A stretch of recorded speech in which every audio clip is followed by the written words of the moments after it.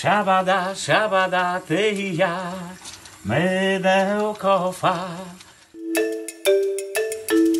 Cześć kochani, kłania się Zenek Martyniuk.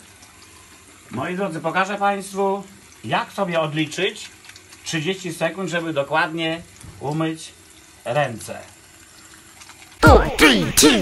Siabada, siabada, ty i ja, mydełko fa.